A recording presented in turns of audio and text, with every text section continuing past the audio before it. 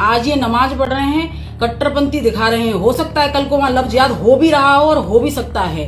नमाज़ पढ़ी जा रही है ये बहुत ही दुखद है और चिंता का विषय है। हिंदू महासभा ऐसे कतई बर्दाश्त नहीं करेगी।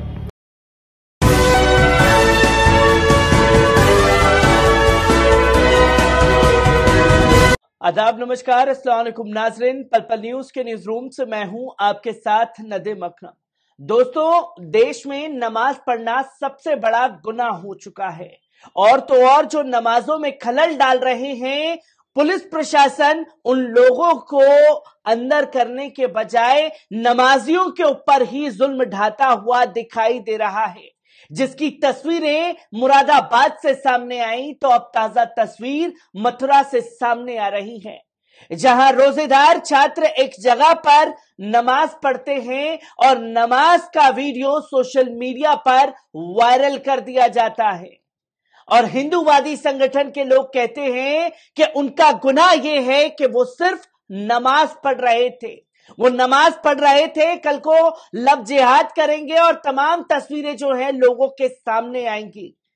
यहाँ आप अपने गोदाम में, अपने घरों में, अपने रिश्तेदारों के साथ नमाज़ पढ़ेंगे तो विरोध किया जाएगा कि नई प्रथा शुरू करने जा रहे हैं।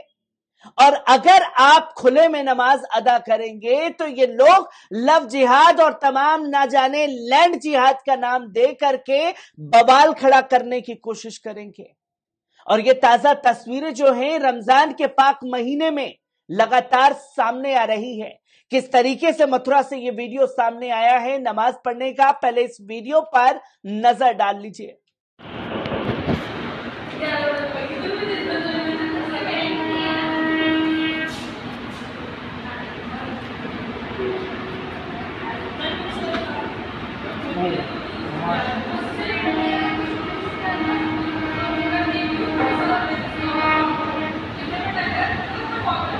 आज की वीडियो बना रहा क्यों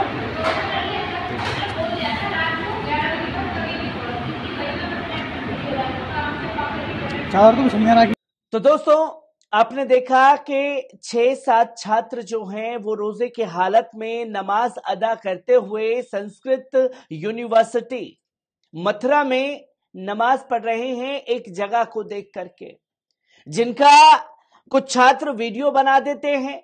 वीडियो सोशल मीडिया पर वायरल होता है और हिंदूवादी संगठन के तमाम नेतागण जो हैं, बवाल काटना शुरू कर देते हैं। किस तरीके से नमाज़ को लेकर के हिंदूवादी संगठन से जुड़ी इस महिला ने तमाम बातें कही हैं, पहले इस वीडियो पर नज़र डालिए। जम्मू कश्मीर से कुछ बयासी करीब बच्चे आए हुए हैं, जो कि गवर्नमेंट की स्कॉलरशिप पर ज़ीरो पेमेंट पर यहाँ पढ़ रहे हैं। बयासी मुसलमान बच्चों ने आके यहाँ नित्य प्रतिदिन रोज़ाना वो नमाज़ पढ़ रहे हैं और अलग अलग जगह पे उनकी वीडियो वायरल हो रही है। अलग अलग कैंपस में अलग अलग स्थान है अलग अलग लोकेशन है। नमाज़ डेली बेसिस पे और विद यूनिफॉर्म पढ़ी जा रही है। मेरा ये लोग यहाँ धर्म का प्रचार कर रहे हैं। तो दोस्तों, आपने देखा कि किस तरीके से ये महिला नमाज़ को लेकर के क्या क्या बोलती हुई दिखाई नहीं दे रही। ये साफ़ तौर पर कह रही है कि नमाज़ पढ़ना सबसे बड़ा गुना है। इन्हें तो नमाज़ पढ़ना ही नहीं चाहिए था। और वहाँ पर छात्र छात्राएँ भी पढ़ती हैं। ये कश्मीरी छात्र हैं। ये लोगों का और हिंदू धर्म का अपमान कर रहे हैं। और तो और ये लव जिहाद भी करेंगे।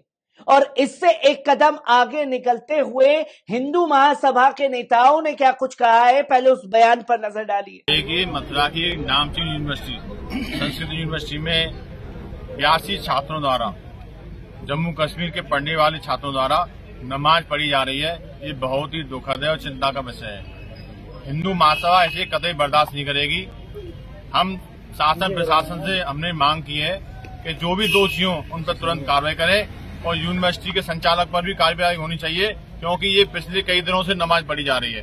तो दोस्तों, आपने देखा कि किस तरीके से हिंदू महासभा का ये नेता, ये कहता हुआ दिखाई दे रहा है कि नमाज़ पढ़ना सबसे बड़ा गुना है। इन्होंने हिंदू भावनाओं को आहत किया है। अब इस वीडियो को देख करके किस तरीके से यह अंदाज़ा लगाया जा सकता है कि हिंदू भावनाओं का इन लोगों ने आहत कर दिया? रोज़े की हालत में नमाज़ की पाबंदी से करते हुए, नमाज़ अदा करते हुए ये छात्रों का गुनाह सिर्फ़ इतना है कि ये सिर्फ़ मुसलमान हैं। और अफसोस इस बात का है कि पुलिस प्रशासन छात्रों को प्रोटेक्ट करने के बजाय वो हिंदूवादी संगठनों के साथ कंधे से कंधा मिला करके खड़ा हुआ दिखाई देता है। यही मुरादाबाद की तस्वीर में सामने आया, जहाँ इन लोगों को सबक सिखाना चाहिए था, वहाँ तरावी की नमाज़ रोक दी गई। और किस तरीके से पुलिस प्रशासन और कॉलेज मैनेजमेंट ने पल्ला झाड़ा है, मुस्लिम छात्रों से आपको बता दें कि उत्तर प्रदेश के प्रतिष्ठित संस्थानों में शुमार, मथुरा की संस्कृति यूनिवर्सिटी में नमाज़ पढ़ने को लेकर विवाद बढ़ता जा रहा है। विश्वविद्यालय का एक वीडियो इन इन दिनों सोशल मीडिया में तेज़ी से वायरल हुआ, जिसमें कुछ मुस्लिम छात्र विद्यालय परिसर में बने गार्डन में नमाज़ पढ़ते देखे जा रहे हैं। ये छात्र जम्मू कश्मीर के बताए जा रहे हैं, जो स्कॉलरशिप संस्कृति यूनिवर्सिटी में पढ़ाई कर रहे हैं। यही नहीं, नमाज़ अलग अलग जगहों में, खुले मैदान में बेफिक्र होकर पढ़ी जा रही थी। तो वहीं इसका विद्यार्थियों द्वारा वीडियो बनाकर सोशल मीडिया पर वायरल कर दिया गया। जहाँ देखिए कि किस तरीके से हिंदू मुस्लिम की आग फैल चुकी है।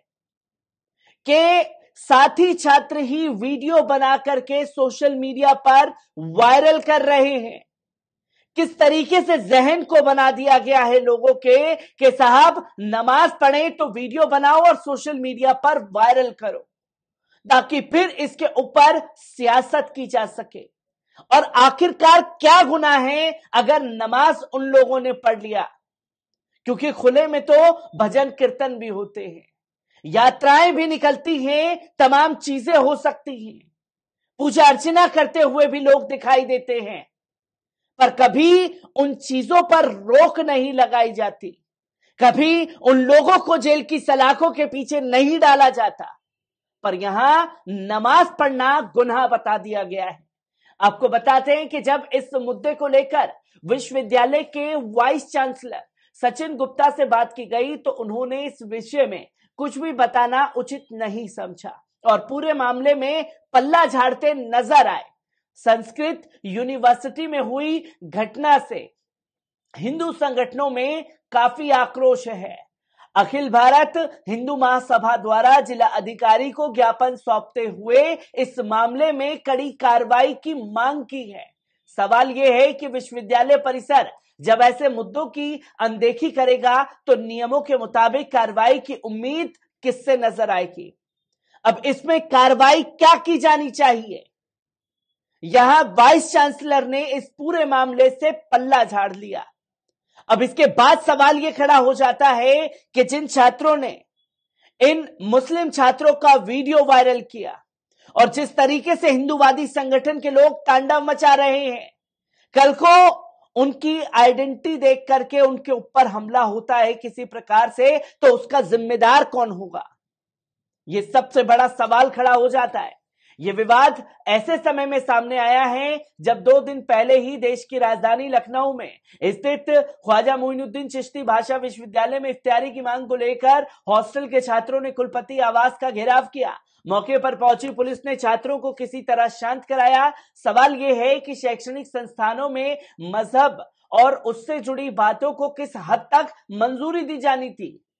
शैक्षणिक संस्थान सभी जाति, पंथ और धर्म के छात्र छात्राओं के साथ समानता का व्यवहार कैसे लागू करेंगे? अब यहाँ ये दावे किए जा रहे हैं। जो यूनिवर्सिटीज में कॉलेजेस में, स्कूलों में मंदिरें बने हुए हैं, उसका क्या? यहाँ छीटाकशी का आरोप लगाने का वक्त नहीं है। यहाँ वक्त है इंसानियत की मिसाल कायम करने का। पर कुछ लोगों के दिलों में इस तरीके से गंदगी भर दी गई है कि साहब, मुसलमान अगर घर में नमाज़ अदा करता है तरावी की तो विरोध करो कि नई प्रथा शुरू करने वाले हैं। और अगर खुले में जाकर के नमाज़ पढ़े तो इस बात का विरोध करो कि साहब, ये तो लैंड जिहाद या तो लव जिहाद करने वाले हैं। ये किस तरीके से देश की तस्वीरें सामने आ रही हैं, जो बार बार सवाल खड़े करती हैं इन हिंदूवादी संगठनों की इस हरकत पर। मैं हर एक तस्वीर से आपको रूबरू कराता रहूँगा। दीजिए इजाज़त। शुक्रिया।